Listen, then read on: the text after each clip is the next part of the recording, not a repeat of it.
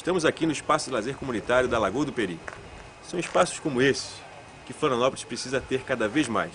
As crianças em nosso município precisam ter mais atenção.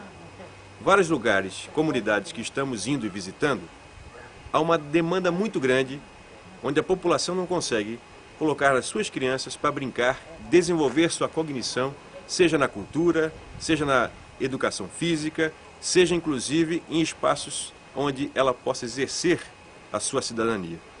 Nós, em Florianópolis, a nossa candidatura exige que nossa cidade seja voltada também para as crianças. Portanto, temos uma proposta, que é a cidade de Florianópolis para as crianças. Queremos contar com você para apoiar essa ideia.